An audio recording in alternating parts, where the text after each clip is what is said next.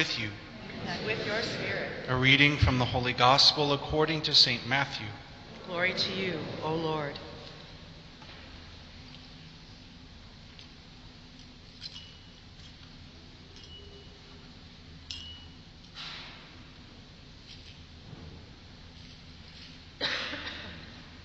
Jesus said to his disciples, No one can serve two masters.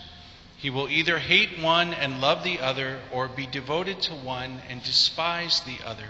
You cannot serve God and mammon.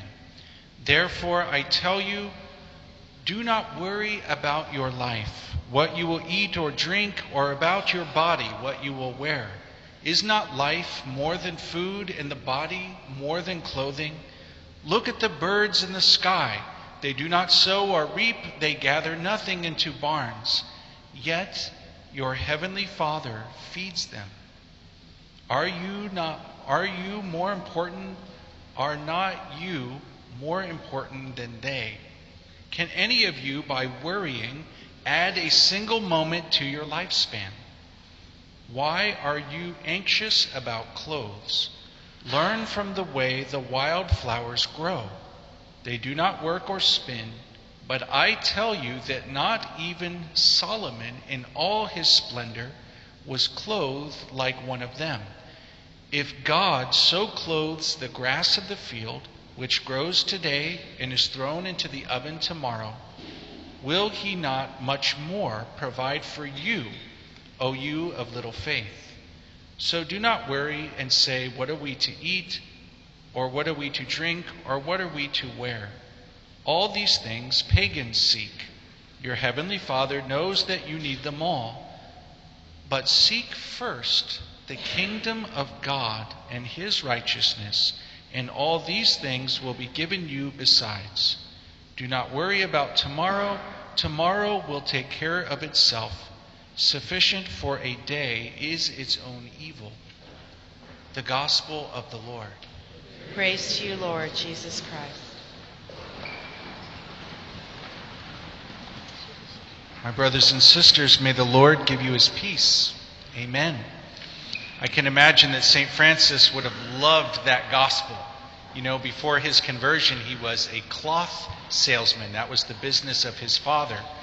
And um, yeah, great, great passage. I just want to offer a word of welcome to everyone, including those who are watching this over the internet. There's cameras here are broadcasting this homily on YouTube. So all of you YouTubers out there, welcome here to the beautiful church of Our Lady of Good Counsel on East 90th Street in New York City.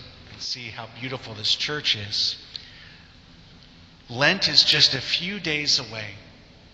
And the readings today from Isaiah 49 to Psalm 62, 1 Corinthians 4, and then this passage from the Gospel of Matthew, chapter 6, they all have the theme of trust in God. Trust in God. In Isaiah 49, the Lord thinks of the most extreme example he can think of. What if a mother would forget about the baby in her womb? That would never, ever happen. But even if that did happen, I will not forget you. And uh, we think of the, the pro life cause in our own day, in that passage uh, for many mothers and fathers, and the forgetting of the children in the womb. But this extreme example of God that I will never forget you, and, and Jesus' word to us in the gospel here about trusting I think in the spiritual life, this is a lifelong project to truly trust in the Lord in so many things. And uh, there is a devotion which I have, which has been so helpful in my own personal struggles to trust in God. That's right. Even though I'm a priest and a Franciscan friar, I'm ready to admit it publicly that every day I find myself being tempted to not trust in God sometimes in small things, sometimes in large things.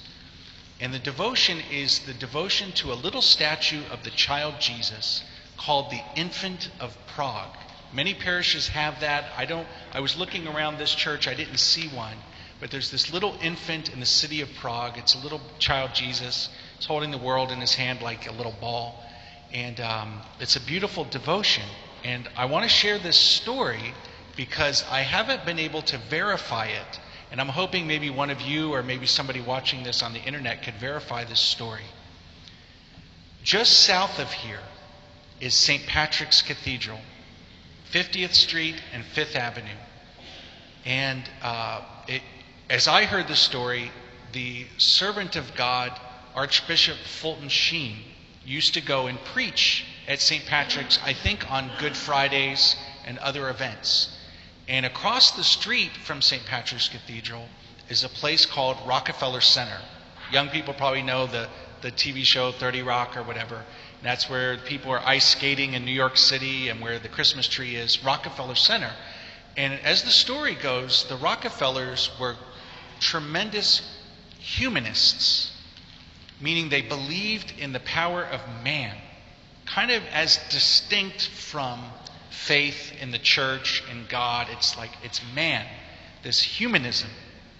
And to show this, they placed a symbol of humanism right across the street from St. Patrick's Cathedral. So if you go down there, you'll see this large statue of Atlas, the man, big, strong man, and he's got the world, this huge world on his shoulders, and he's kind of like this.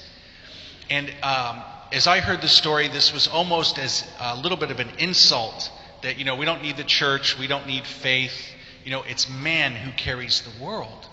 And as I heard the story, Archbishop Fulton Sheen, who was known for his wit, was there preaching shortly after at St. Patrick's Cathedral, and he said, Look, even Atlas is genuflecting to Jesus in the tabernacle because he's kind of bent like this. And then he compared this statue of Atlas, this symbol of man, straining under the weight of the world, to this infant of Prague.